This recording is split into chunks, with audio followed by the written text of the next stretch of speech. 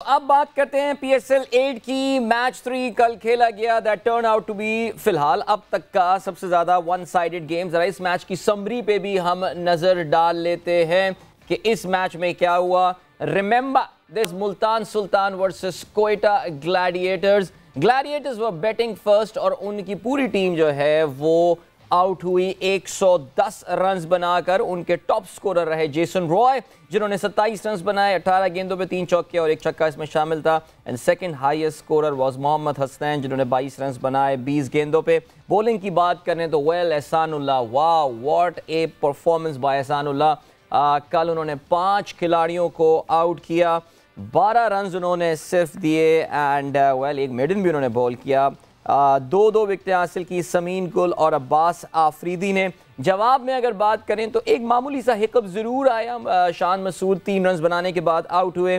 तुसारा की गेंद पर उनकी इनफैक्ट पीएसएल में पहली डिलीवरी थी जिस पर उन्होंने जो है वो शान को एलबीडब्ल्यू किया। लेकिन उसके बाद मोहम्मद रिजवान और रॉयली रूसो के दरमियान ज़बरदस्त पार्टनरशिप रही। रॉयली रूसो इस मैच में खेल रहे थे। ही वॉज़ फीचरिंग बयालीस गेंदों पे अठहत्तर रन बनाए इसमें तीन छक्के और नौ चौके शामिल थे। बॉलिंग में there is nothing much to talk about there for Quetta Gladiators, Ehsanullah was the MVP or the man of the match, whatever that you want to talk about. No One-sided man, let, let's not talk about इस वक्त नहीं है हमें बात तो करनी है ज़ाहिर है और हम मिसबा से बात करते हैं Misbah let's let's start with Ehsanullah of course हम जब प्रोग्राम का आगाज़ कर रहे थे तो हम ये बात कर रहे थे कि जी थोड़ी जैसे कहते हैं इन एक्सपीरियंस बॉलिंग लाइनअप है उसके मुकाबले में कोयटा ग्लैडिएटर्स की बहुत एक्सपीरियंस बैटिंग लाइनअप है लेकिन uh, I think uh, credit goes to this this young boy from Khyber Agency. Brilliant spell और क्या ज़बरदस्त स्पीड में बॉलिंग किया है कल एहसान ने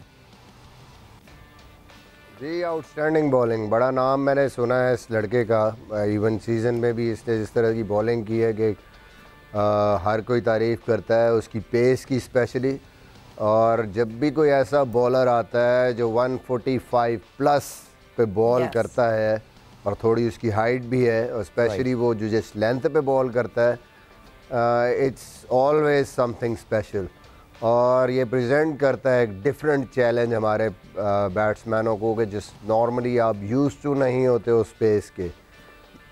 आई थिंक कल बिल्कुल नज़र आया वो लाहौर कलंदस के अगेंस्ट भी नज़र आया था वो लेकिन वहाँ फ़खर थे। फ़खर ने उनको बड़ा ज़बरदस्त हैंडल किया और फ़खर ने बहुत काम किया शॉर्ट बॉल पे। तो उसने उसको कैश किया और एक्सपीरियंस था वो सेट था। तो वो मेरे ख्याल में एक वजह बनी कि उस मैच में ये उस तरीके से इम्पेक्ट नहीं डाल सके।